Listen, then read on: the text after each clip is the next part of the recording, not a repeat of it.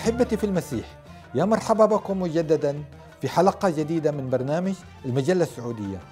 واليوم حيكون عندنا موضوع مهم جدا وهو الله المخلص. خليكم معنا عشان تعرفون الجواب.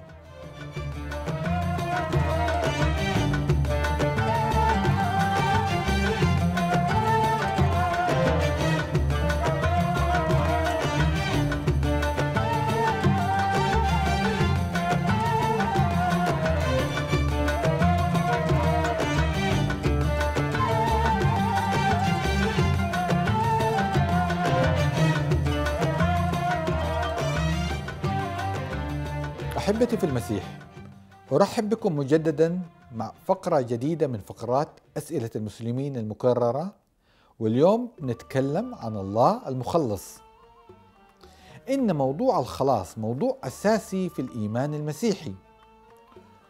وفكر بولس الرسول ينطلق من الخلاص.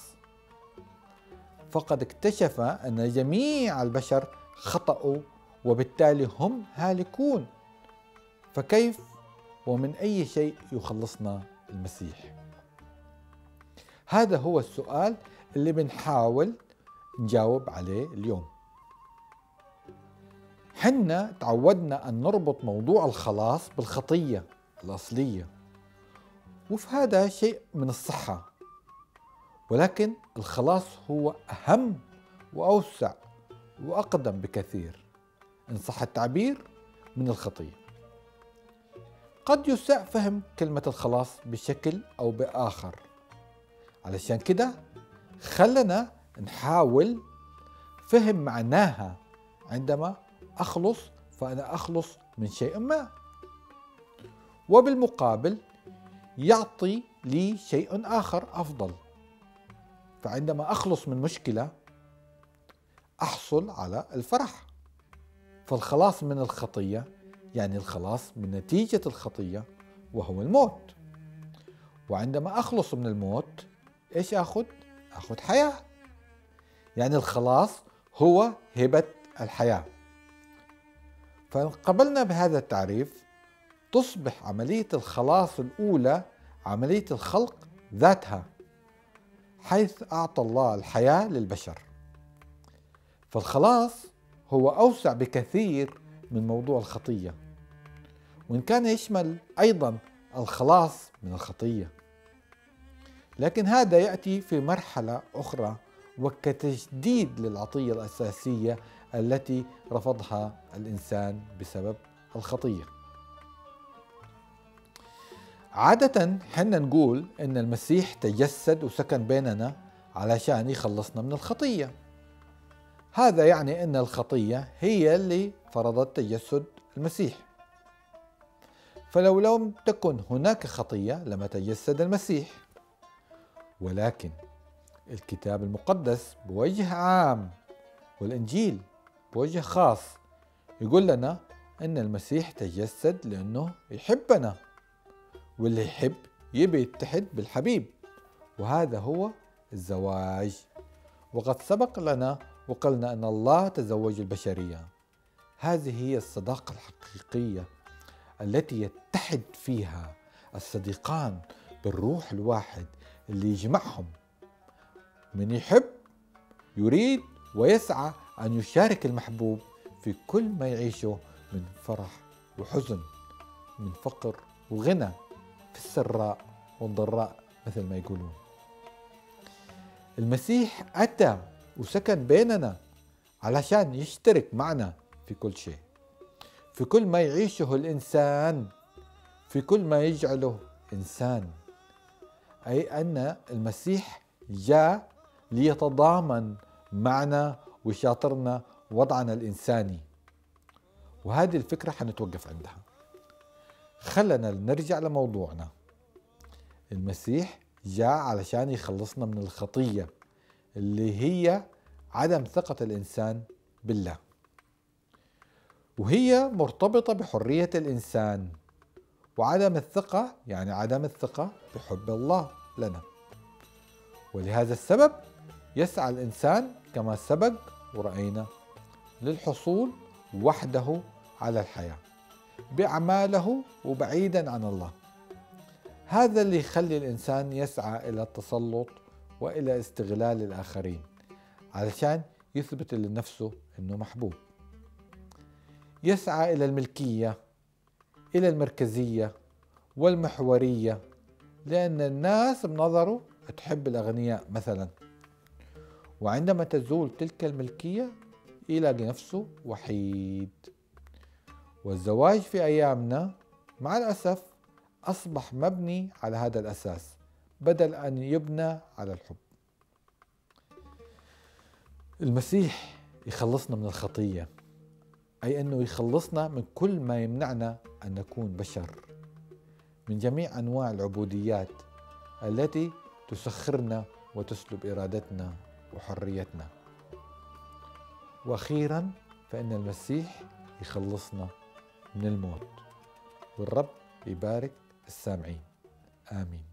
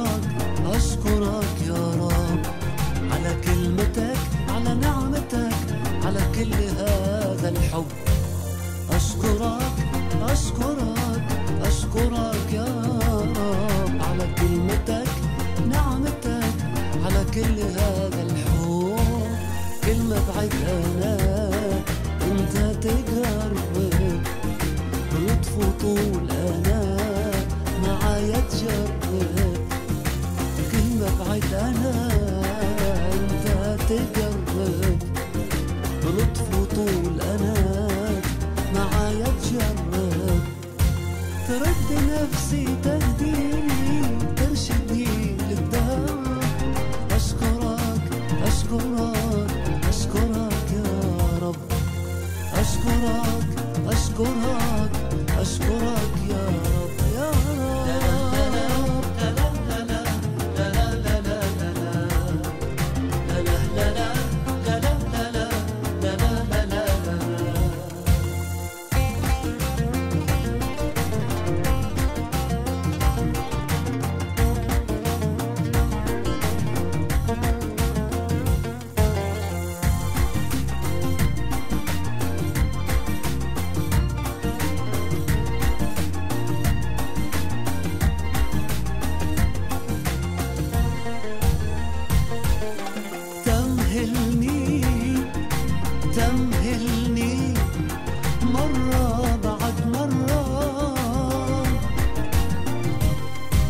ولا تهملني. لا لا لا تهملني. وتنساني ولا مرة. وخطيتي المرة محيتها من القلب خطيتي المرة محيتها من القلب أشكرك أشكرك.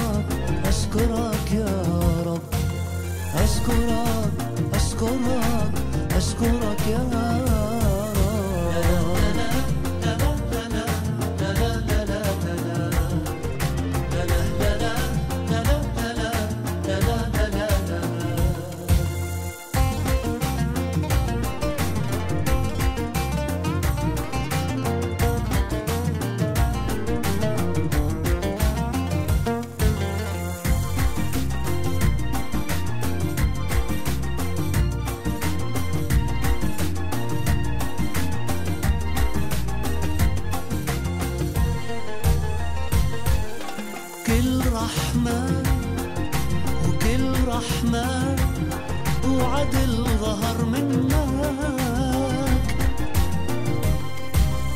أكبر نعمة أكبر نعمة أرسلت لي ابنك. ابنك الكلمة احتمل عني الصلب. ابنك الكلمة احتمل عني الصلب. أشكرك أشكرك أشكرك يا رب. أشكرك أشكرك أشكرك يا رب.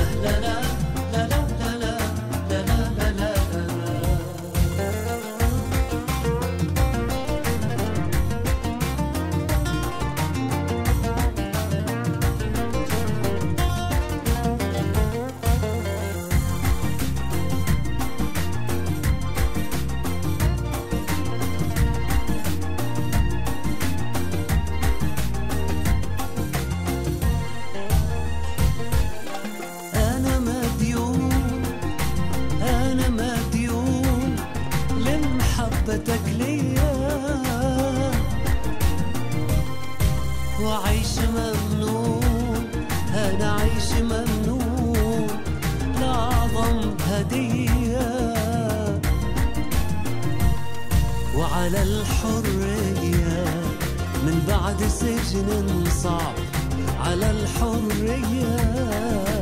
من بعد سجن صعب أشكرك أشكرك أشكرك يا رب أشكرك أشكرك أشكرك يا رب أشكرك أشكرك أشكرك يا رب. على كلمتك على نعمتك على كل هذا الحب. أشكرك أشكرك أشكرك يا رب. على كلمتك نعمتك على كل هذا الحب. كلمة بعدها لا انت تقرب بلطف وطول آلات معايا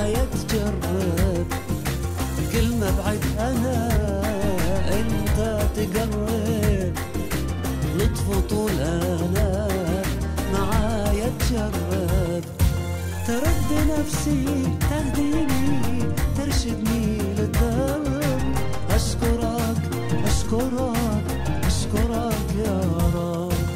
أشكرك أشكرك أشكرك يا رب.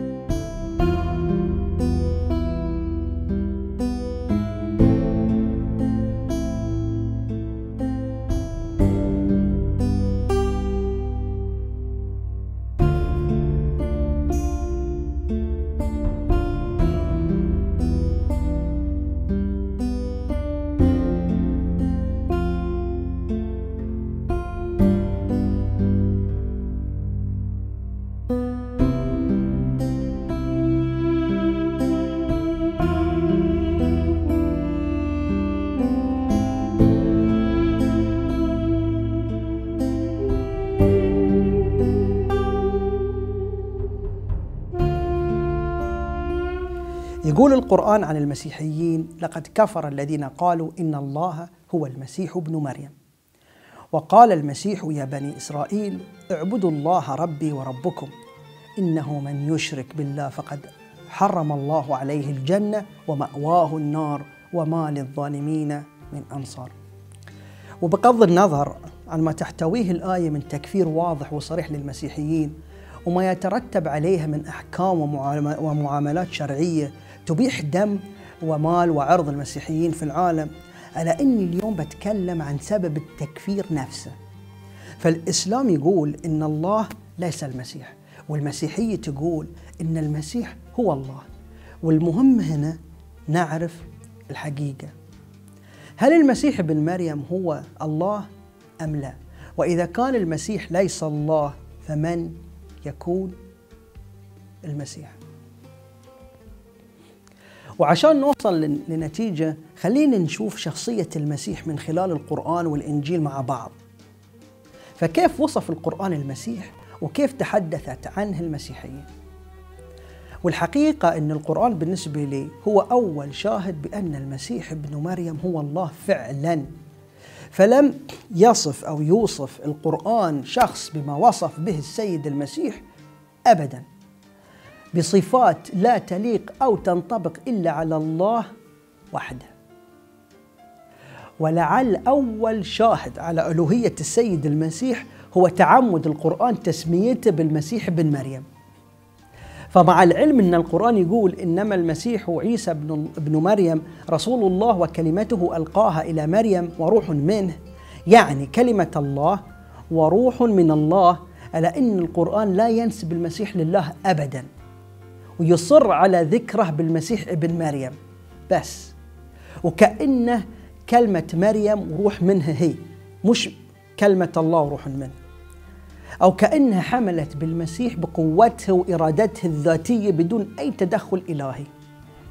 فنشوف خوف وحذر كبير جدا آه، في القرآن من ارتباط اسم الله بالمسيح حتى لو ولو كان بشكل معنوي أو بعيد.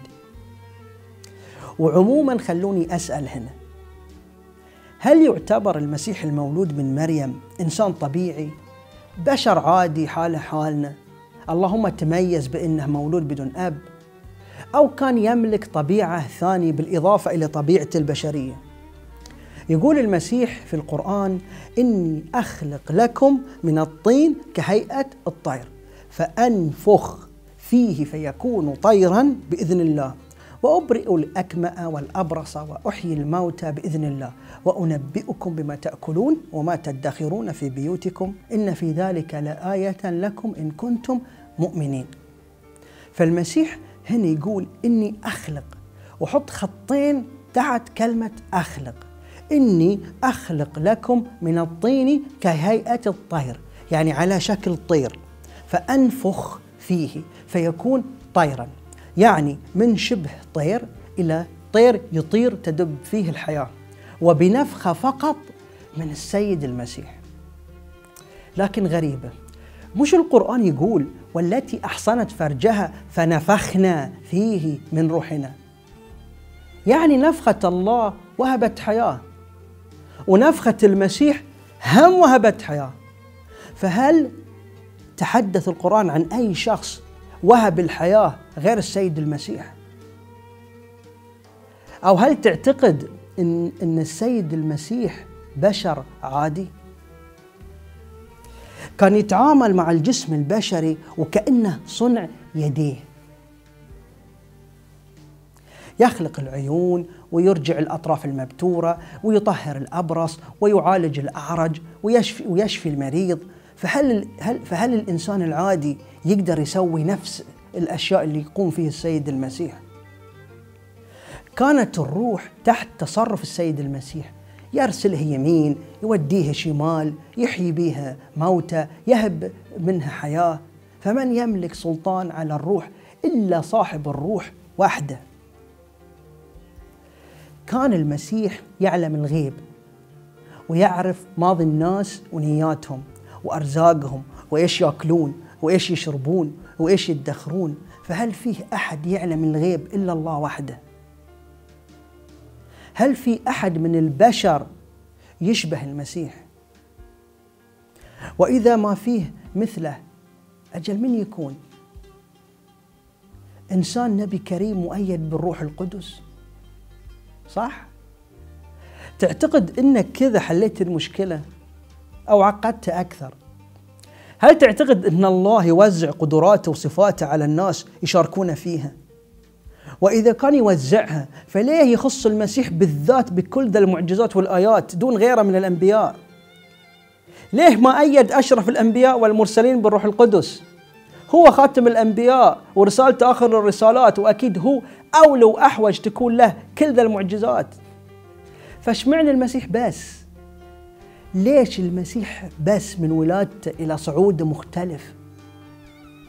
تذكر الأحاديث الإسلامية أن السيد المسيح الوحيد في الخليقة المقدس بلا خطيئة فكل بني آدم مسهم الشيطان إلا المسيح ابن مريم فهو المعصوم من كل إثم ودنس لكنه بشر عادي إنسان وبشر عادي. يعني قوة وسلطان وآيات ومعجزات وقداسة فممكن تسأل نفسك من يكون؟ ليش هو بس القادر على كل شيء؟ اسأل نفسك هل عادي كل ذا الأمور تصدر من إنسان طبيعي مثلي ومثلك؟ السيد المسيح كان آية متحركة لمسته تهب شفاء وقوة. كان يقول للشيء كن فيكون. اشفي اطهر قم ابكم اخرج.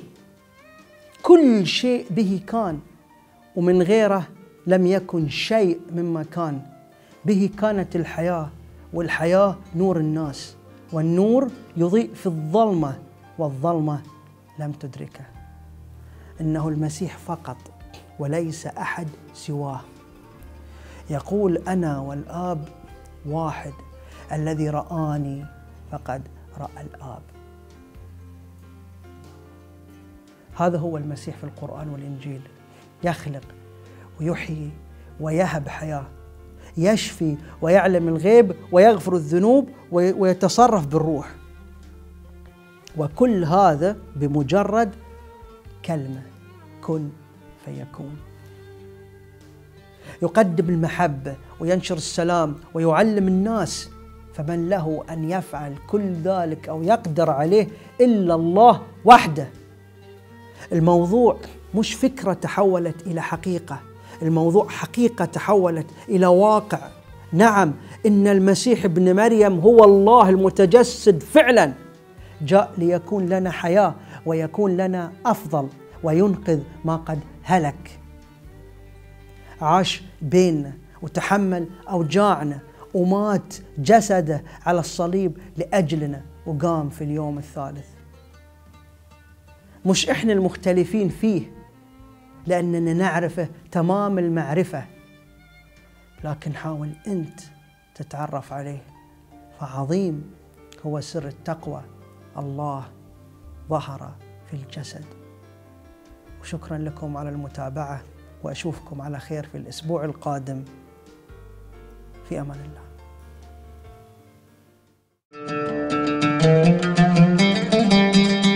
يا الله باسمك خلصني وبقوتك أنصفني. يا الله اسمع صلاتي واصغى إلى كلامي لأن غرباء قاموا علي وعتات يسعون إلى قتلي وما خلوا الله قدام عيونهم. هو ذا الرب معيني والسيد الرب عاضدي. يرد الشر على عدويني وبحق عدلك استأصلهم. طوعا أذبح لك وأحمد اسمك يا رب لأنه طيب فإنه نجاني من كل ضيق. وشفت بعيوني اللي صار العدويني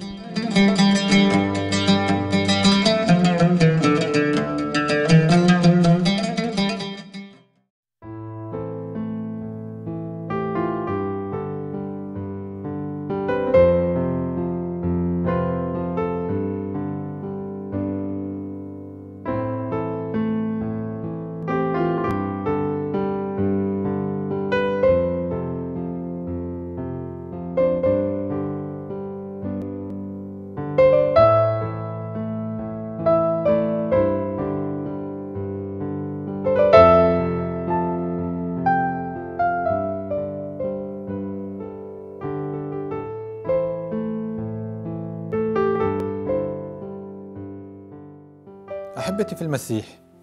وصلنا إلى ختام هذه الحلقة من برنامجكم المجلة السعودية وهذه الفقرة اللي كلنا ننتظرها وحصاد كل العمل اللي هي فقرة الاختبارات. نشوف هذا الاختبار اللي وصلنا من الأخ زين خا يقول مرحبا أخ خالد. أحب أن أشارك اختباري. أنا لست مسلم سابق بل من عائلة مسيحية ولكني تركت الإيمان المسيحي وتبعت النظريات العلمية. كنظرية داروين وغيرها لمدة طويلة من الزمن. عندما صعبت في وجه الحياة لم أعد إلى المسيح لكني ذهبت إلى ديانات الصين والهند. غير أن الله لم ينساني بل شاء أن يعيدني إلى حظيرته فترأى لي في أحلام كثيرة فتركت النظريات العلمية والديانات الأخرى وعدت إلى الإيمان الصحيح الإيمان المسيحي.